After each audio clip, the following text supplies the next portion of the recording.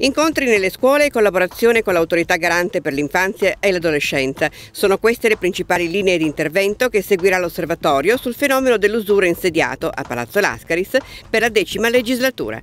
All'incontro, aperto dal Presidente del Consiglio regionale Mauro Laus, presieduto dal consigliere segretario Gabriele Molinari, sono intervenuti esponenti delle fondazioni antiusura, rappresentanti della Prefettura di Torino, delle forze dell'ordine, delle associazioni dei consumatori ed esperti in materia di lotta all'usura. La nostra attenzione è sicuramente a far sì che le istituzioni siano al loro interno e all'esterno un presidio di legalità essere attenti e consapevoli delle difficoltà che i cittadini, le imprese vivono. Quindi cercare anche di, di costruire dei canali attraverso i quali le persone, le imprese possano dialogare con con gli altri attori, insomma chi eroga il denaro, chi eh, deve vigilare sul rispetto di determinate regole. Noi abbiamo ecco, questa funzione, una funzione educativa e allo stesso tempo una funzione di monitoraggio. Credo che eh, questo osservatorio l'abbia assolta sempre in maniera molto seria e molto scrupolosa, quello che personalmente anche come, eh, come osservatorio intendiamo fare è continuare su questa strada.